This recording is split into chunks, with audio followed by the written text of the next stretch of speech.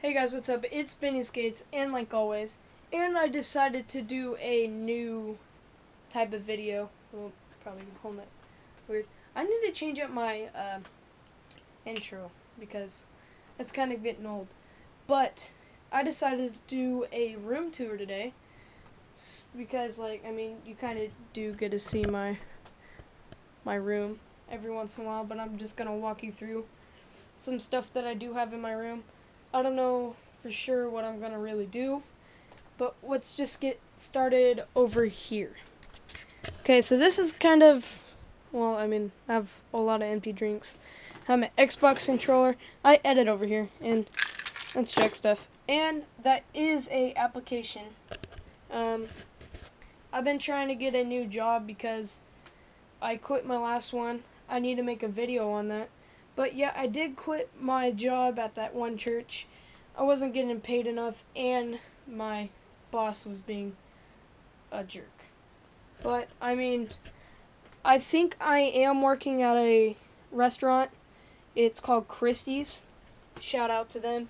But that application is for this other restaurant called um, the Whistle Stop, and they only serve breakfast, so I could be working uh, breakfast I could be working in the morning, and then my next shift, if I want to do both jobs, I can work at night and work at the other restaurant and just close up. So morning shift, night shift, and then I have another job for harvest, and I'm gonna be in a tractor hauling grain. That sounds fun, but this is where I edit, right? Kind of have a lot of junk over here. But so far, yeah. And then this is my TV. Oh, and that's my couch. And my Xbox. I've been starting to play it. My favorite game is Farming Simulator. I play it way too much. And TV. Um, I put my airsoft guns in this. I have a revolver. Well, did have a revolver and just a crappy pistol cologne, knives. I have a couple knives over there. Oh, and just to let you guys know, this is not a real gun. That's a BB gun. I just didn't want to scare you guys on that. I to keep a real gun. Well, I would keep a real gun in my room, but yeah. Just a lot of random stuff. Tech decks. Uh, yeah. And then clothes. I need to fold that, but since it's summer, I don't really care. And then emoji pillow that a girl gave me. Ain't she nice? And then BB guns, airsoft gun, poster. Don't worry about that. Another poster that I got from uh, some brothers from different mothers. They signed it too a long time ago.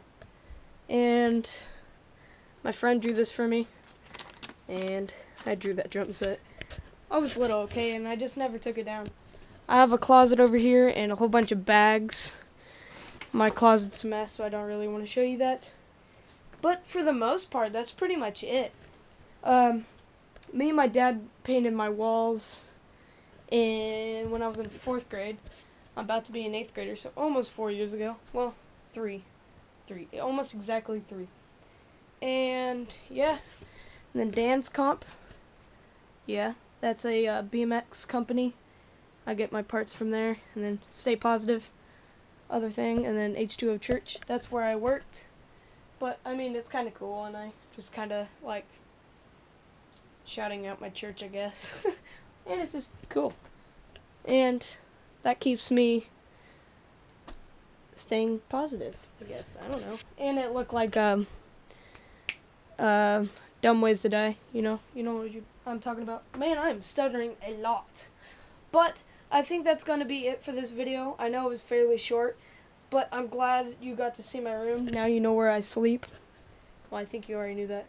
But yeah, I hope you have a good day or night, and peace out.